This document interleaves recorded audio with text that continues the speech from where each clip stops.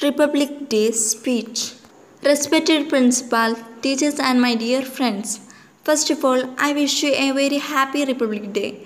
Republic Day is celebrated every year 26th January. Today we are celebrating our 73rd Republic Day. Republic Day is the national festival of India. It is very proud day of, of our country because on this day the constitution of india came into force in 1950 dr b.r ambedkar is the father of the constitution of india. On this day our indian flag is hoisted and national anthem janagana mana is sung. Republic day parade is the big event conducted at rajpath in new delhi the president give award to the brave soldiers and people on this day. Republic Day is celebrated in schools and college with great enthusiasm and joy. Republic Day teaches us to live in unity and peace.